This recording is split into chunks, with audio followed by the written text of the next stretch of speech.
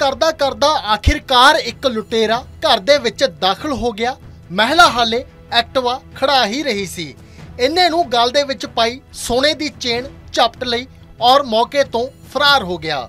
ਜੀ ਹਾਂ, ਸੀਸੀਟੀਵੀ ਤਸਵੀਰਾਂ ਦੇ ਵਿੱਚ ਪੂਰਾ ਕਾਰਨਾਮਾ ਕੈਦ ਹੋਇਆ। ਇੱਕ ਮਹਿਲਾ ਆਪਣੇ ਬੱਚੇ ਨੂੰ ਨਾਲ ਲੈ ਕੇ ਐਕਟਵਾ ਤੇ ਘਰ ਆ ਰਹੀ ਸੀ।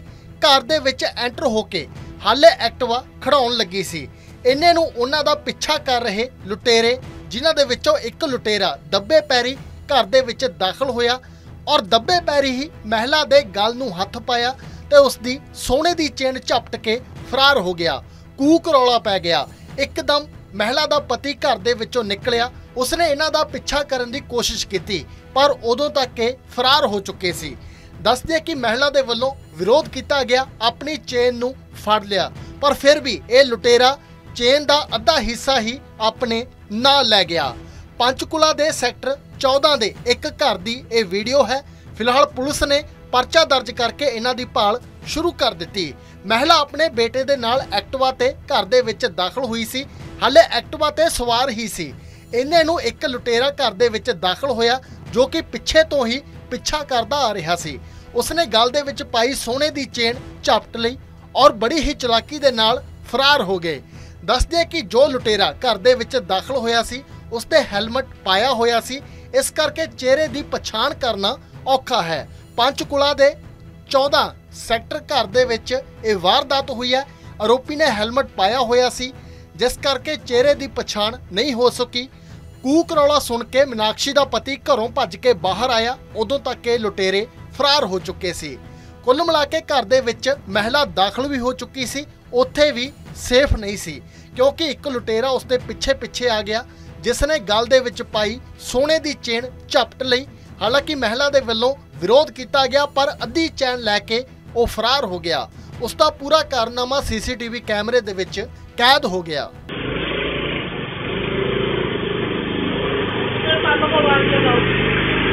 तेरे पापा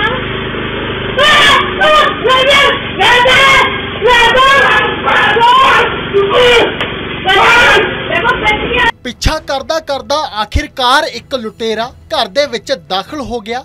ਮਹਿਲਾ ਹਾਲੇ ਐਕਟਿਵਾ ਖੜਾ ਹੀ ਰਹੀ ਸੀ। ਇਹਨੇ ਨੂੰ ਗਲ ਦੇ ਵਿੱਚ ਪਾਈ ਸੋਨੇ ਦੀ ਚੇਨ ਝਪਟ ਲਈ ਔਰ ਮੌਕੇ ਤੋਂ ਫਰਾਰ ਹੋ ਗਿਆ। ਜੀ ਹਾਂ, ਸੀਸੀਟੀਵੀ ਤਸਵੀਰਾਂ ਦੇ ਵਿੱਚ ਪੂਰਾ ਕਾਰਨਾਮਾ ਕੈਦ ਹੋਇਆ। ਇੱਕ ਮਹਿਲਾ ਆਪਣੇ ਬੱਚੇ ਨੂੰ ਨਾਲ ਲੈ ਕੇ ਐਕਟਿਵਾ ਤੇ ਘਰ ਆ ਰਹੀ ਸੀ। ਘਰ ਦੇ ਵਿੱਚ ਐਂਟਰ ਹੋ ਕੇ ਹਾਲੇ ਐਕਟਿਵਾ ਖੜਾਉਣ ਲੱਗੀ ਸੀ। ਇੰਨੇ ਨੂੰ ਉਹਨਾਂ ਦਾ ਪਿੱਛਾ ਕਰ ਰਹੇ ਲੁਟੇਰੇ, ਜਿਨ੍ਹਾਂ ਦੇ ਵਿੱਚੋਂ ਇੱਕ ਲੁਟੇਰਾ ਦੱਬੇ ਪੈਰੀ ਘਰ ਦੇ ਵਿੱਚ ਦਾਖਲ ਹੋਇਆ ਔਰ ਦੱਬੇ ਪੈਰੀ ਹੀ ਮਹਿਲਾ ਦੇ ਗਲ ਨੂੰ ਹੱਥ ਪਾਇਆ ਤੇ ਉਸ ਦੀ ਸੋਨੇ ਦੀ ਚੇਨ ਝਪਟ ਕੇ ਫਰਾਰ ਹੋ ਗਿਆ। ਕੂਕ ਰੌਲਾ ਪੈ ਗਿਆ। ਇੱਕਦਮ ਮਹਿਲਾ ਦਾ ਪਤੀ ਘਰ ਦੇ ਵਿੱਚੋਂ ਨਿਕਲਿਆ। ਉਸਨੇ ਇਹਨਾਂ ਦਾ ਪਿੱਛਾ ਕਰਨ ਦੀ ਕੋਸ਼ਿਸ਼ ਕੀਤੀ, ਪਰ ਉਦੋਂ ਤੱਕ ਇਹ ਫਰਾਰ ਹੋ ਚੁੱਕੇ ਸੀ। ਦੱਸਦੇ ਕਿ ਮਹਿਲਾ ਦੇ ਵੱਲੋਂ ਵਿਰੋਧ ਕੀਤਾ ਗਿਆ, ਆਪਣੀ ਚੇਨ ਨੂੰ ਫੜ ਲਿਆ। ਪਰ ਫਿਰ ਵੀ ਇਹ ਲੁਟੇਰਾ ਚੇਨ ਦਾ ਅੱਧਾ ਹਿੱਸਾ ਹੀ ਆਪਣੇ ਨਾਲ ਲੈ ਗਿਆ।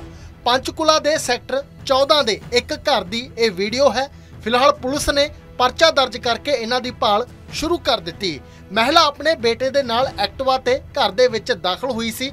ਹਾਲੇ ਐਕਟਿਵਾ ਤੇ ਸਵਾਰ ਹੀ ਸੀ। ਇਹਨੇ ਨੂੰ ਇੱਕ ਲੁਟੇਰਾ ਘਰ ਦੇ ਵਿੱਚ ਦਾਖਲ ਹੋਇਆ, ਜੋ ਕਿ ਪਿੱਛੇ ਤੋਂ ਹੀ ਪਿੱਛਾ ਕਰਦਾ ਆ ਰਿਹਾ ਸੀ। ਉਸਨੇ ਗਲ ਦੇ ਵਿੱਚ ਪਾਈ ਸੋਨੇ ਦੀ ਚੇਨ ਝਪਟ ਲਈ ਔਰ ਬੜੀ ਹੀ ਚਲਾਕੀ ਦੇ ਨਾਲ ਫਰਾਰ ਹੋ ਗਏ। ਦੱਸਦੇ ਕਿ ਜੋ ਲੁਟੇਰਾ ਘਰ ਦੇ ਵਿੱਚ ਦਾਖਲ ਹੋਇਆ ਸੀ ਉਸ ਹੈਲਮਟ ਪਾਇਆ ਹੋਇਆ ਸੀ। ਇਸ ਕਰਕੇ ਚਿਹਰੇ ਦੀ ਪਛਾਣ ਕਰਨਾ ਔਖਾ ਹੈ। ਪੰਚਕੁਲਾ ਦੇ 14 ਸੈਕਟਰ ਘਰ ਦੇ ਵਿੱਚ ਇਹ ਵਾਰਦਾਤ ਹੋਈ ਹੈ। ਆਰੋਪੀ ਨੇ ਹੈਲਮਟ ਪਾਇਆ ਹੋਇਆ ਸੀ, ਜਿਸ ਕਰਕੇ ਚਿਹਰੇ ਦੀ ਪਛਾਣ ਨਹੀਂ ਹੋ ਸਕੀ। ਕੂਕ ਰੌਲਾ ਸੁਣ ਕੇ ਮੀਨਾਕਸ਼ੀ ਦਾ ਪਤੀ ਘਰੋਂ ਭੱਜ ਕੇ ਬਾਹਰ ਆਇਆ। ਉਦੋਂ ਤੱਕ ਇਹ ਲੁਟੇਰੇ ਫਰਾਰ ਹੋ ਚੁੱਕੇ ਸੀ। ਕੁੱਲ ਮਿਲਾ ਕੇ ਘਰ ਦੇ ਵਿੱਚ ਮਹਿਲਾ ਦਾਖਲ ਵੀ ਹੋ ਚੁੱਕੀ ਸੀ। ਉੱਥੇ ਵੀ ਸੇਫ ਨਹੀਂ ਸੀ, ਕਿਉਂਕਿ ਇੱਕ ਲੁਟੇਰਾ ਉਸਦੇ ਪਿੱਛੇ ਪਿੱਛੇ ਆ ਗਿਆ ਜਿਸ ਨੇ ਗਲ ਦੇ ਵਿੱਚ ਪਾਈ ਸੋਨੇ ਦੀ ਚੇਨ ਝਪਟ ਲਈ। ਹਾਲਾਂਕਿ ਮਹਿਲਾ ਦੇ ਵੱਲੋਂ ਵਿਰੋਧ ਕੀਤਾ ਗਿਆ, ਪਰ ਅੱਧੀ ਚੈਨ ਲੈ ਕੇ ਉਹ ਫਰਾਰ ਹੋ ਗਿਆ। ਉਸ ਦਾ ਪੂਰਾ ਕਾਰਨਾਮਾ ਸੀਸੀਟੀਵੀ ਕੈਮਰੇ ਦੇ ਵਿੱਚ ਕੈਦ ਹੋ ਗਿਆ।